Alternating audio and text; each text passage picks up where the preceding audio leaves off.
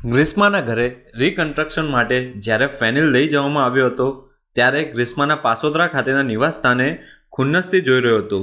અકળાયેલા લોકો ફેનિલને મેથીપાક આપવાના મૂડમાં હતા, પરંતુ પોલીસે ફેનિલને આકરા શબ્દોમાં સણખા રહેવા જણાવ્યું હતું.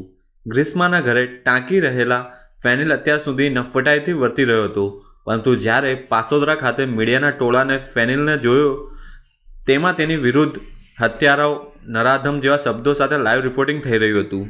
તે જોઈને ફેનિલ હેપતાઈ ગયો હતો. હીરોગીરી કરવાના ચક્કરમાં પાટીદાર સમાજ અને શહેરમાં મહાવિલન બનેલા ફેનિલને ગ્રીષ્માના ઘર પાસે ખબર પડી ગઈ હતી કે તેનાથી બહુ મોટી ભૂલ થઈ છે.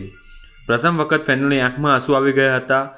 તેને રડતા રડતા જોઈને પોલીસ પણ દંગ રહી ગઈ હતી. અત્યાર સુધી ગ્રીષ્માને મારીને જાણે કોઈ મોટી હીરોગીરી કરી હોય તે રીતે વર્તી રહેલા ફેનિલને હવે ખબર પડી ગઈ હતી કે તેણે બહુ મોટી ભૂલ કરી છે.